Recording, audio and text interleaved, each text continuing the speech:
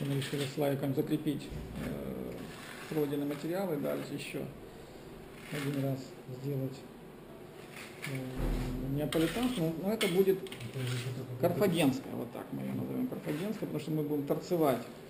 Не, нет, ты его не снимай так, как э, что-то мы будем торцевать. Ты просто сейчас пока наложи материал. Бери еще материал и заканчивай. Потому что для торцовки нужен, понимаешь, чтобы здесь был чуть больше материала. Поэтому у нас это будет карфаген. То есть, э, что у нас здесь? У нас здесь мы не ложим подложку да, этим материалом. Представьте, что это откраш, ну, отгрунтованная грунтовочной краской поверхность. То есть мы вот грунтовку добавили краску, это 1 к 5. 5 частей грунтовки, одну часть краски, э, отколеровали универсальным красителем и покрасили.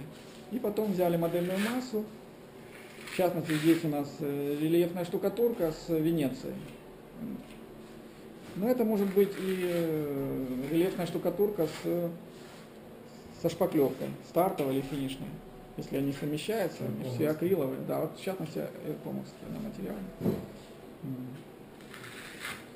Вот Вячеслав показывает, что как можно. Просто мы положили материал такими островочками, потом его разровняем, видите как. И помнишь, мы говорили о, Вячеслав, о, да, крестнообразных движениях. То есть ты попробуй, да, вот эти сейчас островки растягивать. Сюда растянул, сюда растянул. Да, теперь отсюда можешь, да, надо, надо потянуть туда, можешь оттуда сюда. Вот, вот, вот, вот, вот, так. Так, достаточно. Достаточно, давай добавляем туда еще. И вот что подобное получалось. Дома? Ага. О, ну видишь, ты дома, так что дома ты не прошло зря твои старания.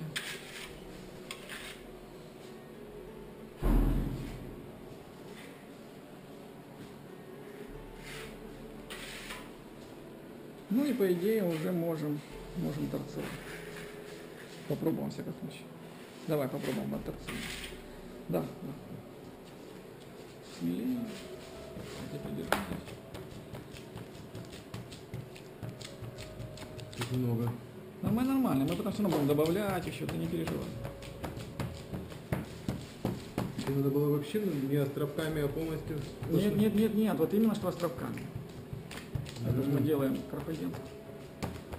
Я понял. Да, чтобы вы просто тоже еще понимали по поводу названий. Бывает задают мне вопросы, почему такое название. Такие приходят в голову. Да, это произвольное название, то есть больше они как в рекламных целях. То есть если мы назвали просто рельефная штукатурка, ну, особого внимания мы к ним не привлечем. А если мы назовем ее карфагенская, или финикийская, или фламандская, или миланская, или версальская. Все Европа, да, да, это веселее.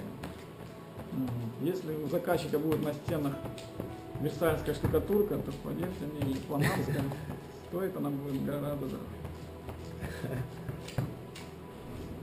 Чем просто структура, рельефная или структурная штукатурка. Хорошо, вот мы его торцевали. Только ты, мне кажется, заторцевал уже все. Да, я Ну хорошо, хорошо, хорошо. Она вязкая очень получилась. Да ладно, сейчас мы Я что-то... могу ее перетянуть, по-моему, да? Сейчас мы что-то решим. Сейчас я. Вот, вот. Вячеслав показывает, как она немножко прихватилась у нас. И сейчас мы ее верхушки заглаживаем.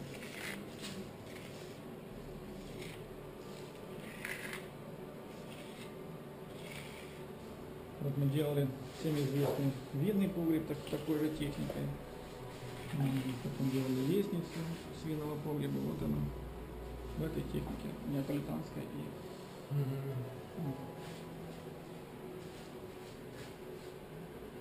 Этого достаточно, да?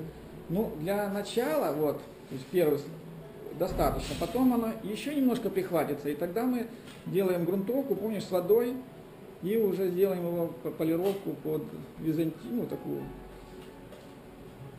карфаген в лучшем виде. То есть она будет даже у нас, э, вот сейчас э, видно, что она немножко уже заглинцована, но тогда она будет еще, еще ярче.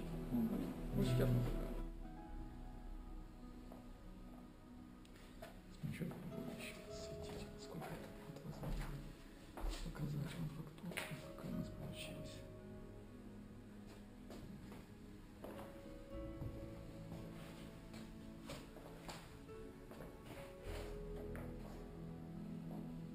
обычно оно видно. Вот сейчас на, это может быть не сильно видно, а уже когда сбрасываешь на экране, то, конечно, оно читается гораздо.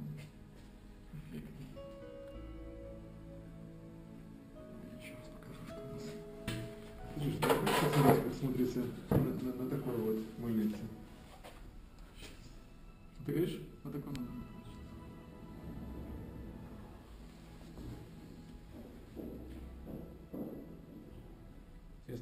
Скользящим светом будет. Очень хорошо получается. Так что выездной мастер-класс считаю очень удачным.